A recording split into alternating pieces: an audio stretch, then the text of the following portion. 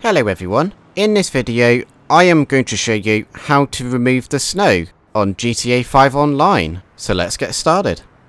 So first thing you need to do is open the menu screen, so press the options button, hover to online, and then click on jobs, then click on play job, and then scroll down to Rockstar Created, click on that, then scroll down to races, click on that, and then scroll down until you see at the start of the title of the race course is Cayo Perico. Click on the bike and subscribe one. The other ones could work, but the guaranteed one here is bike and subscribe. Open that race course up.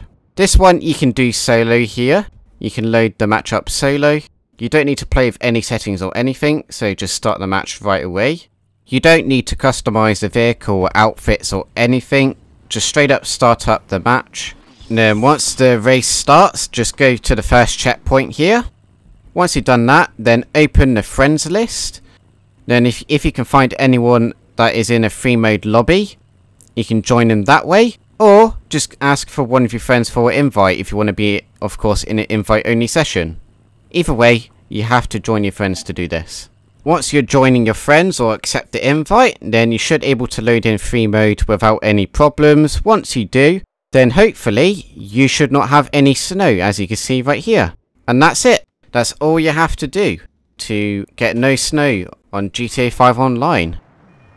The Christmas decorations will still be around. You can also pick up the snowballs. So I hope this video helped in any way. If it did, make sure to give this video a like. Thank you for watching this video everyone.